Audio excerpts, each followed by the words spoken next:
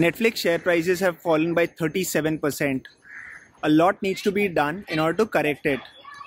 Well, something that they're doing really well is implementing MLOps. MLOps is gaining a lot of popularity. What exactly is MLOps?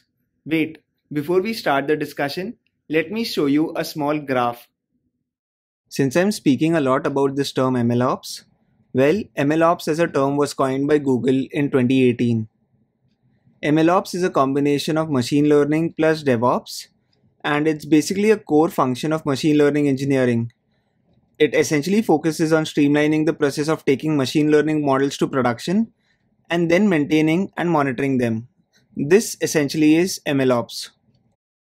If I show you how popular MLOps is becoming, then here is a chart of Google Trends for the keyword MLOps. Before 2018, before the term was coined, there was literally no buzz about this word called as MLOps. But after 2018, the word has caught on and you can see the total amount of searches that are happening for MLOps. So this is where MLOps is gaining a lot of popularity. Now that we know that MLOps is gaining a lot of popularity, let me now go forward and show you the newest book that I have in my collection that I've gone through. And this book is something that you can refer to start your journey in MLOps. So now without wasting any further time, let me show you the book.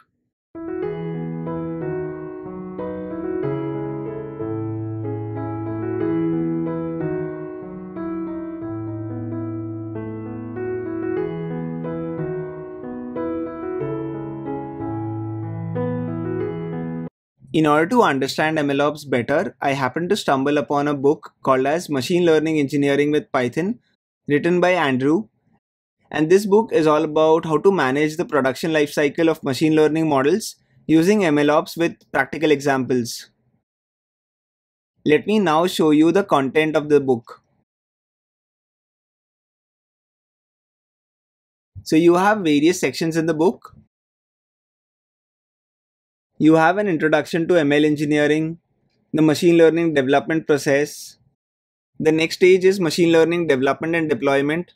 How do you create models? How do you tune it? How do you create better models using automl how do you create packages so that you can use it later on?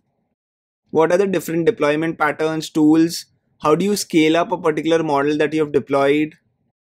Once the fundamentals are clear then the author takes you through building an example of a machine learning microservice which is where you create a machine learning model deploy it on cloud and then create a microservice out of it. Finally, you will also be building an extract transform machine learning use case wherein you will develop the entire pipeline that you would want to monitor after the machine learning model processes happened as well. So there are tons of exciting chapters that you can definitely go through and learn more about the MLOps process. Let me take you through the pages as well. So here are some of the sample chapters. I had a chance to go through the entire book and it's been a really enriching experience in terms of understanding the whole MLOps process. Machine Learning Engineering with Python is an extremely easy to read book wherein you end up learning how to deploy end-to-end machine learning models. The book is comprehensive and the concepts are presented in a very simplified manner so that you are able to understand it really well. The initial part of the book also gives you a clear definition of who a data engineer is, who a machine learning engineer is and who a data scientist is. So that is really good for people who want to understand the different job roles.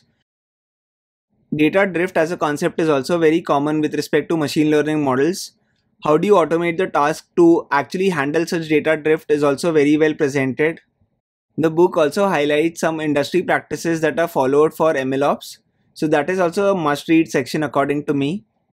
So if you ask me, I would highly recommend this book, Machine Learning Engineering with Python, to people who are in the data science DevOps ecosystem so that they are able to better understand what MLOps as a concept is and how organizations can better utilize different technologies so that they can constantly deploy, monitor, and maintain different machine learning models. Well, this is all that I had in today's video. I hope you enjoyed today's video. Thank you so much for watching the video.